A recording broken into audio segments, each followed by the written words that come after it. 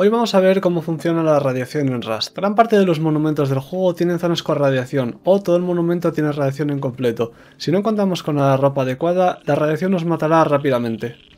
Para protegernos contra la radiación deberemos de equiparnos con ropa. Cada prenda ofrece un porcentaje concreto de protección, por ejemplo, esta camiseta ofrece un 3%. Si me equipo toda la ropa, en total tendría un 22%, que se puede ver aquí. La prenda que más protege es el traje antirradiación. Que tengamos un traje RAD no garantiza que tengamos una protección del 100% contra radiación. En algunos puntos, como por ejemplo aquí arriba en la estación de lanzamiento de misiles, vamos a tener radiación.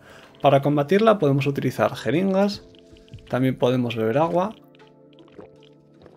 como podéis ver disminuye la radiación, también podemos tomar píldoras antirradiación e incluso podemos fabricar test contra la radiación.